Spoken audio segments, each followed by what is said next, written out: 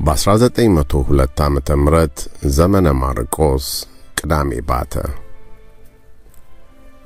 በዚህ ዘመን ደጃዝማች አብርሃ አርአያ ትግሬ ላይ ሆነው ማመጻቸውና ራስ አባተን ለመውጋት መደራጀታቸው ስለተሰማ የነገሩ ሁኔታ እንደ ራሴውንና እቴጌይቱን በአንድነት የሚያሳስባቸው ሆነ።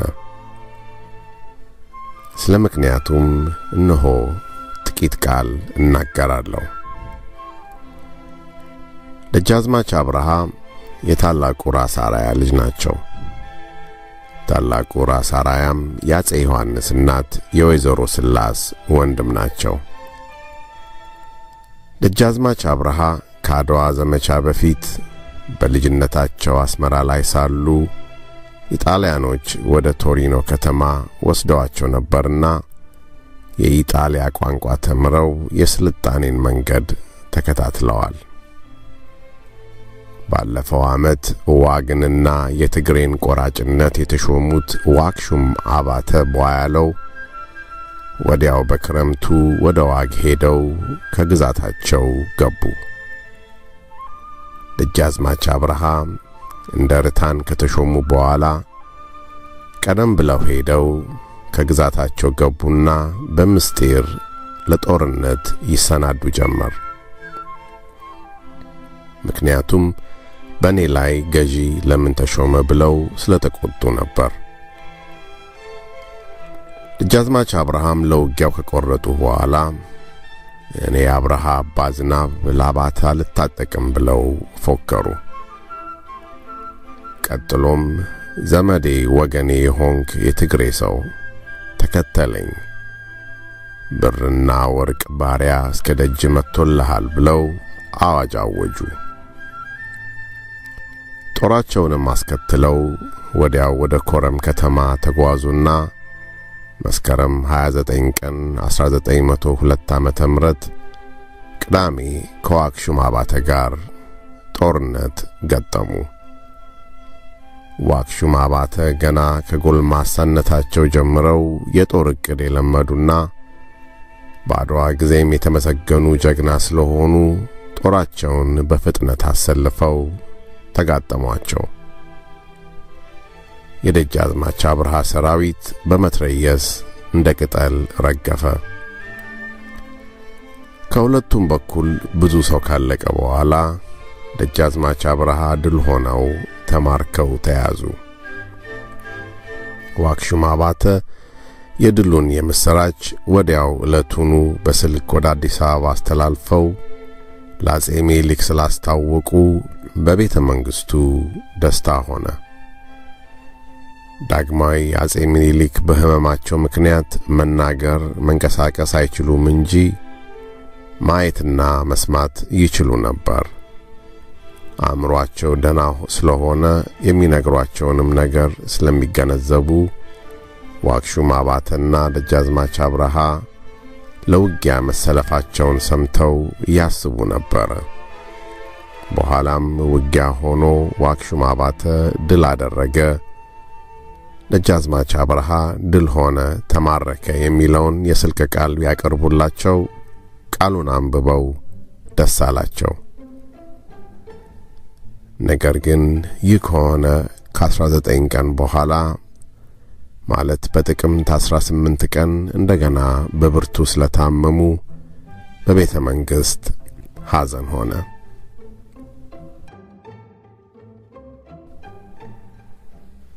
ከዚህ በኋላ በእንደራሴው በራስ ተሰማና በእቴጌ ጣይቱ መካከል ያለው የሥልጣን ትግል እየጸና መሄድ ጀመረ።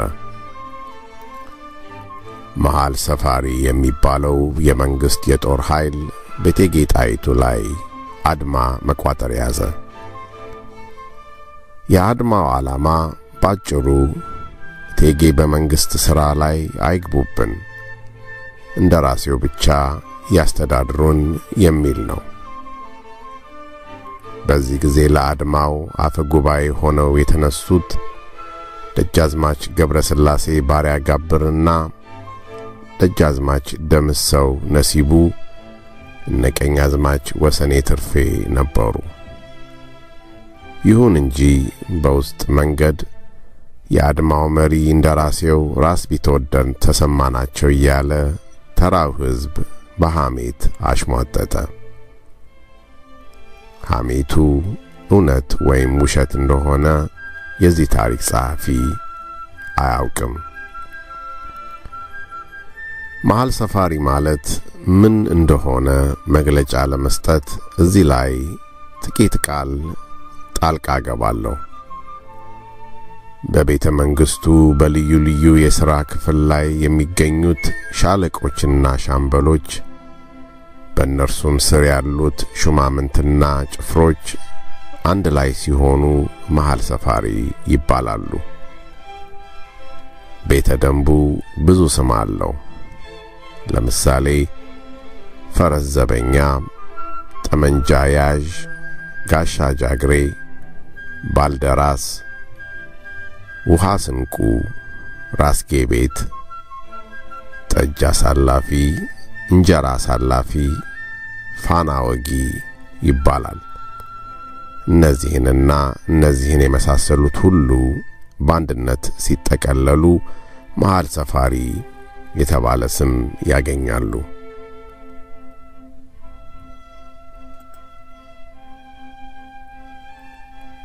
መሃል ሰፋሪም ከጥር ጀምሮ እስከ የካቲት ድረስ አድማውን የሚቋጠረው በከፊል በከፊል እየሆነና በገለልተኛ ስፍራ እየተሰበሰበ ነበር።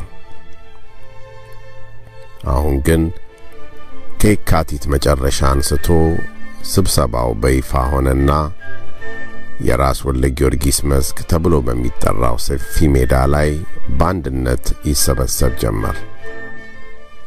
አሁን ማናቸውም ንግግር በግልጽና በድፍረት ሆነ። ፉከራም ተጨመረበት። ስብሰባው በዚያው ሜዳ እስከ መጋቢት 11 ቀን ሲቀጥል ሰነበተና በመጨረሻ አንድ የጉባኤ ውሳኔ ተዘጋጀ። ቃሉም ይህ ነው። እቴጌ ጣይቱ በሹም ሽርና በማናቸውም የመንግሥት ሥልጣን አይግቡብን። የቀድሞ ግዛታቸውን ይዘው ባለቤታቸውን ጌታችንን ጃንሆይን ያስታሙልን።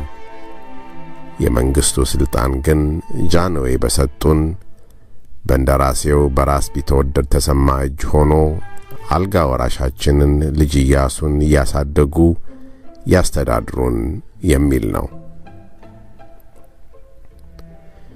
ይህ የጉባኤ ውሳኔ የሕዝብ ቃል ተብሎ በሊቀ ጳጳሱ በአቡነ ማቴዎስ በኩል ለእቴጌ ጣይቱ ተላከ። እቴጌ ጣይቱም ቃሉን ከሰሙ በኋላ ተቆጥተው በእንደራሴው ላይ ብዙ የብስጭት ቃል ተናገሩ። በዚህ ጊዜ የእቴጌ ጣይቱ ዘመዶች እነ ደጃዝማች አያሌው ብሩ በየቤታቸው ግቢ ተሰልፈው ሽለላ ማሸለል ጀመሩ። ስለዚህም ሽብር ሊነሳ ነው ተብሎ ስጋት ሆነ። ከዚህ በኋላ መሃል ሰፋሪ መጋቢት 12 ቀን ሰኞ በሊቀ ጳጳሱ በአቡነ ማቴዎስ ግቢ ተሰበሰበና ግዝቱን ይፍቱን ሲል ጠየቀ። ግዝት የተባለው ከአስር ወር በፊት ተገዝቶ የነበረው ነው። አጼ ሚኒሊክ በግንቦት 10 ቀን 1901 ዓመተ ምህረት ስለ ልጅ ኢያሱ አልጋ ወራሽነት ባስነገሩት አዋጅ ውስጥ እኔ እስካሁን በፍቅር እንዳኖርኳችሁ እናንተም ተስማምታችሁ እንድትኖሩ እለምናችኋለሁ የሚል ቃል ነበረበት።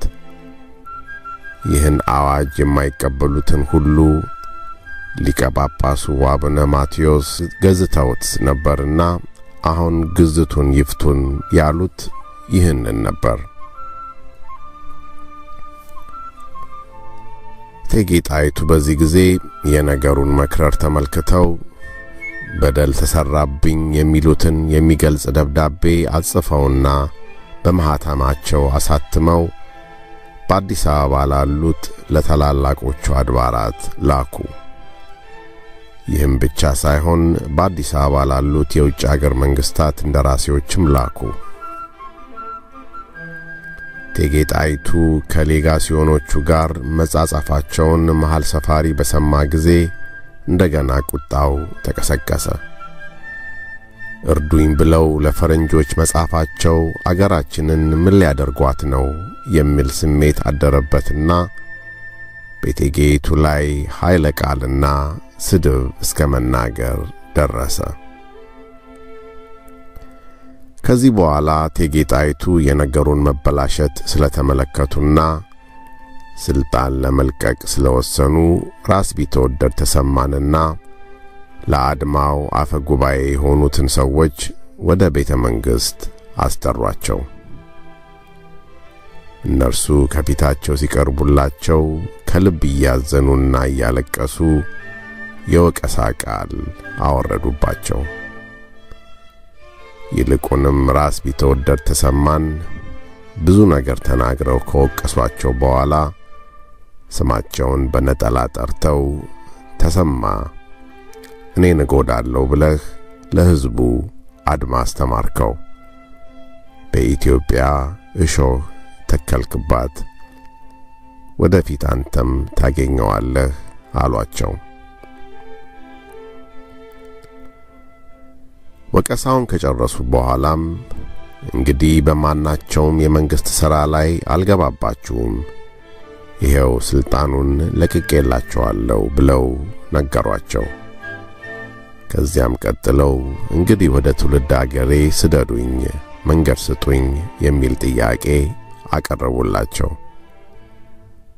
እነርሱ ግን አልፈቀዱላቸውም። ምክንያቱም ወደ አገሬ ልሂድ ማለታቸው ከወንድማቸው ከራስ ወሌ ጋር ሆነው ምናልባት ጸጥታ ለማደፍረስ ይሆናል ብለው ስለጠረጠሩ ነበረ። ከእቴጌ ጣይቱ ጋር የነበረው የሥልጣን ትግል ካለቀ በኋላ ራስ ቢትወደድ ተሰማ የመንግሥቱን ሥልጣን ከእጃቸው አግብተው ሹምሽር እያደረጉ ይሰሩበት ጀመር።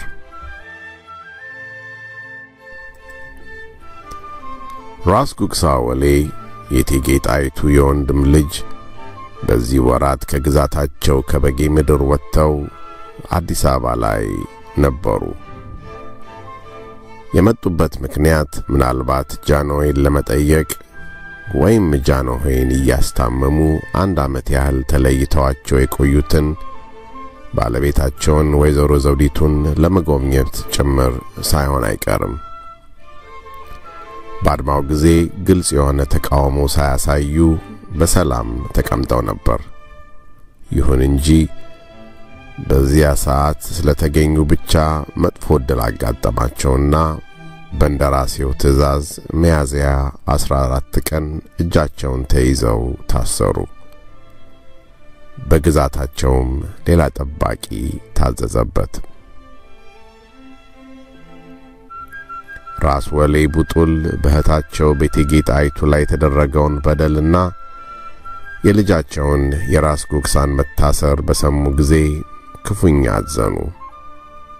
ከዚህም በቀር ራስ ወሌና ራስ ሚካኤል ከድሮ ጀምሮ በግዛት ድንበርና በክብር ተወዳዳሪነት ይጋጩ ነበርና አሁን ልጅ ኢያሱ ወራሴ መንግሥት በሆኑበት ዘመን ራስ ሚካኤል ጥቃት ያደርስብኛል የሚል ስጋትም አደረባቸው። ስለዚህም ራስ ሚካኤልን ለመውጋት ጦር መሰብሰብና ማሰለፍ ጀመሩ። እንዲያውም ጦራቸውን በሌላ ሰው ግዛት በአምባሰል ላይ እንዲሰፍር አደረጉት። እንደራሴው ራስ ቢትወደድ ተሰማ ይህንን የራስ ወሌን ሁኔታ በሰሙ ጊዜ ለራስ ሚካኤል ረዳት የሚሆን አስር ሺህ ያህል ጦር ከሸዋ ለመላክ በሚስጥር ያደራጁ ጀመር። ለጦሩም መሪነት ዘመዳቸውን ደጃዝማች ሉል ሰገድን መረጡ። ራስ ቢትወደድ ተሰማ ጦር ከመላክ በፊት ጉዳዩን በሰላማዊ መንገድ መፈጸምና ጠቡን ማብረድ እንደሚሻል ስላሰቡ ከእቴጌ ጣይቱ ጋር ስለ ሰላም መላላክ ጀመሩ። ከዚህ በኋላ እቴጌ ጣይቱና ራስ ቢትወደድ ተሰማ በወረቀትም ሆነ በቃል እየተላላኩና እየተወቃቀሱ ስለ ልዩ ልዩ ነገር ይነጋገሩ ጀመር። በተለይም በፋሲካ ዕለት ሚያዝያ 23 ቀን እቴጌ ጣይቱ አሽከሮቻቸው ወደ እልፍኝ እንዳይገቡ ስለተከለከሉባቸው በእንደራሴው ላይ ሲያማርሩና ሲያዝኑ ዋሉ። ከሸዋ ወደ ወሎ የተላኩት እነ ቢትወደድ ሉል ሰገድ በሐምሌ ወር ወሎ ከደረሱ በኋላ ለራስ ወሌ ደብዳቤ ላኩባቸው። ወደ አዲስ አበባ የተጠሩ መሆናቸውንም በደብዳቤ አስታውቀው ዝም ብለው ወሎ ላይ ከረሙ። ራስ ወሌ ብጡል ጥሪውን ከሰሙና ካወቁ በኋላ በነገሩ ሲያስቡበት ቆዩ። በዚህ ጊዜ ወደ አዲስ አበባ ለመሄድ መወሰናቸውን ለመኳንንታቸው ቢነግሯቸው ማን ጠራኝ ብለው ይሄዳሉ። ራስ ተሰማ እኮ ጓደኛው የነበረው ነው። አጼ ሚኒሊክ እንደሆኑ ታመዋል።